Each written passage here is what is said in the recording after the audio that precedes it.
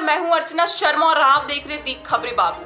बिहार में corona virus के लगातार बढ़ते मामलों ने न सिर्फ़ लोगों की, बल्कि सरकार की मुश्किलें बढ़ा दी है। एक तरफ़ जहाँ अस्पताल में बेड तक नहीं मिल पा रहे हैं, वहीं अब ऑक्सीजन की कमी ने मुसीबतें खड़ी कर दी है। एनएमसीएच अस्पताल, Nalanda medical college and hospital में ऑक्सीजन की लगातार कमी होने के कारण मरीजों की जान जाने की नौबत आ गई है।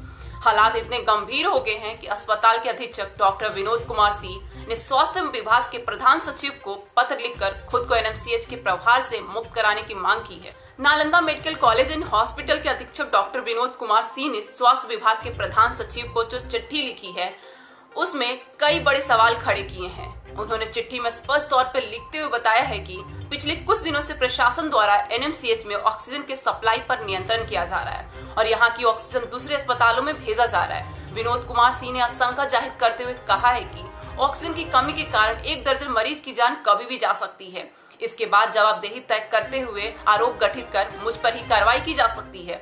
इसीलिए एनएमसीएच के अतिरिक्त प्रभार से खुद को मुक्त कराने की मांग करते हैं। धन्यवाद, देखते रहिए दिखा खबरी बाबू